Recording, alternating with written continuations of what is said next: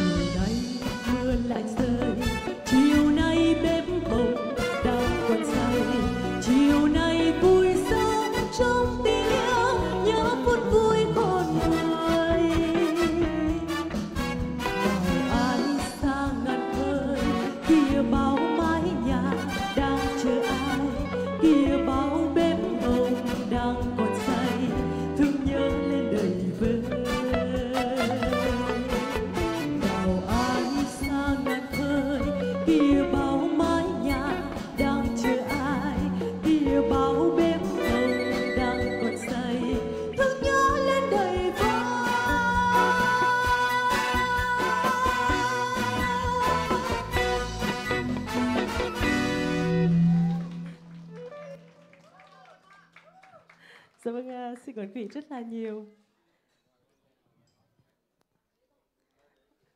Vâng, à, em cảm ơn à, anh em xin Thanh Bạch ạ. Trời ơi, em rất là duyên dáng. À, quý vị nghe nói có nửa nửa thì để có không vậy? Hay thì tôi nghe bị âm vang thôi. Có thì được hả? Em ơi, khách mà yêu cầu nửa đó em ngày khai trương là em phải hết mình lên nha. Cái bài này em hát bài bài đỉnh nhất của em được không? Quý vị có dám nghe bài đỉnh nhất của cô ấy không? Vỗ tay la hét lên lên! Hú lên bên đây nữa nè. À, dạ vâng.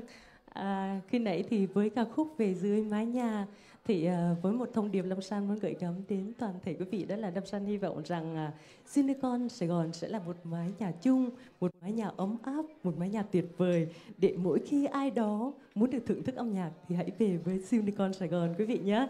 À, và một ca khúc tiếp theo Lâm San xin phép được gửi tặng đến quý